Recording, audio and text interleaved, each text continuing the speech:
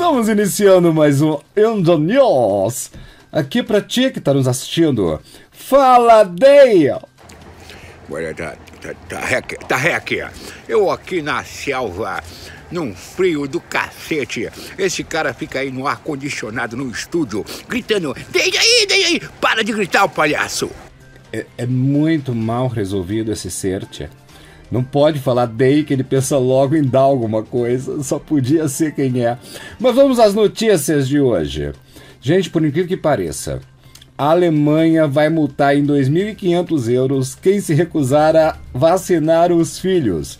Exatamente, é lei agora na Alemanha. É obrigado a vacinar contra sarampo. Vê se pode hoje em dia, tem pessoas que ainda não acreditam em vacina. E aí, deixa aí. Eu, eu acho que essas questões de vacina, todos sabemos que vacinas são coisas para fazer as pessoas ficarem doentes e ficarem microchipadas, entendeu? O cara toma uma vacina, na verdade leva seu filho lá, entende? É, aí entra um, um chip nanotecnológico no, no sangues, inclusive alguns chips podem dar até hemorroidas. Aí as pessoas ficam chipadas e controladas. Como já disse o mestre Olavo de Carvalho. O Olavo de Carvalho já contou que inclusive não podemos tomar Pepsi. Porque se tomarmos Pepsi, estamos sendo canibais, porque estamos tomando um refrigerante que é adoçado com fetos humanos. Por isso que eu só tomo Coca-Cola, porque Pepsi é adoçada com fetos humanos. E nós que vivemos numa terra que é plana, nós temos que ser muito conscientes. Então, essa atitude da Alemanha multar as pessoas é uma atitude muito. Fala baixinho, porque pode haver uma conspiração.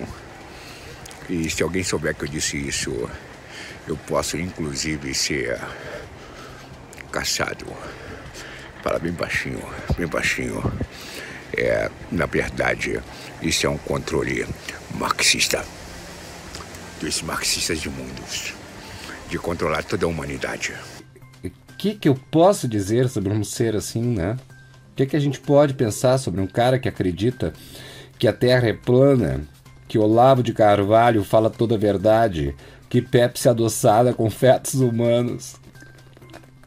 É tri, é tri fuder esse cara, é tri fuder. E falar em tri fuder, uma arara lá em Londres, cara, tava presa no teto teto não, no telhado. Aí o cara foi lá salvar o bombeiro. A arara mandou o cara se fuder. Essa é contigo, Dejair. Eu penso que essa arara, ela é esquerdista. Na verdade, não é uma arara. É um cavalo de Troia porque estava lá um rapaz militar, bombeiro, salvando a vida e ela fala isso? Não, não. Isso aí não faz sentido.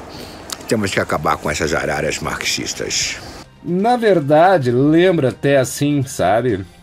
Alguns eleitores de um determinado país que a gente avisa sobre determinado candidato ou seja, tu tá querendo socorrer o cara. E não só tá querendo socorrer o cara, tu tá querendo também de alguma forma evitar que tu fique em perigo junto com o cara. Aí quando você alerta o cara, o cara diz exatamente isso pra ti.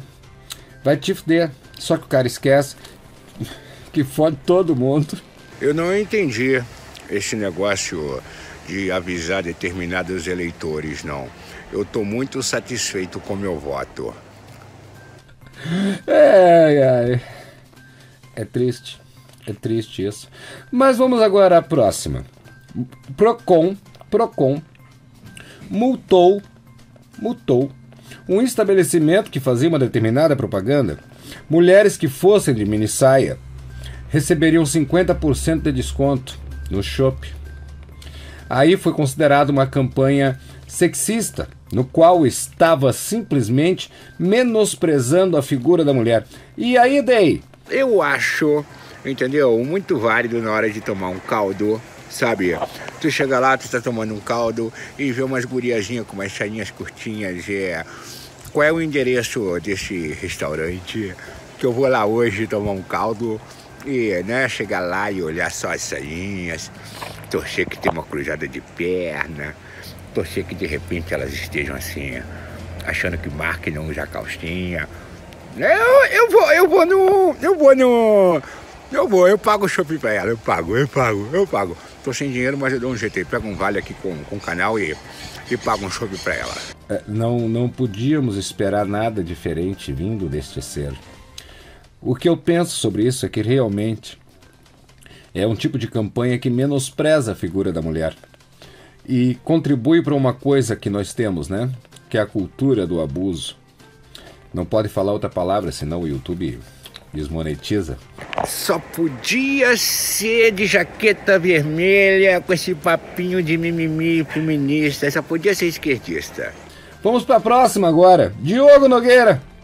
Diogo Nogueira, aquele cantor, filho do João Nogueira, ficou extremamente chateado por Ludmilla ter ganho lá no Faustão aquele prêmio como melhor de todos. É, Diogo achou que era um absurdo o fato dela ser uma fanqueira e ganhar o prêmio. E aí dei. Não me enche o saco, tu é um esquerdista. Tá bom, dei, Jair. Marxista. Não quero trabalhar contigo. Não podemos trabalhar junto. Não, não podemos. Tchê, já combinamos aqui com o pessoal do canal que não se pode falar de política no canal. Marxista. Tá entendido? Não quero trabalhar contigo. Tá entendido? Não podemos trabalhar junto. Tá entendido, Tchê? Tá bom, cara, tá bom. Ficou nervoso, cara. Ficou nervoso, meu líder. Que isso, meu líder? Calma, meu líder. Estamos apenas num debate democrático. Viu como é que é a regra quando vê um macho de verdade? Mas vamos lá. O que, que tu tem a dizer sobre essa situação da Ludmilla? A Ludmilla, cara, assim, ó. E esse tal de Nogueira também. Sabe porque ele pensa que é bonitinho? Aí fica lá fazendo umas carinhas. De Nogueira. Falar da Ludmilla, cara. Tá falando de funk. Ela não merecia ganhar porque é funkeira. Ele também não merecia ganhar porque ele é sambista. Entendeu? E homens brancos conservadores, héteros que nem eu, não gostam dessas músicas samba, funk, pagode.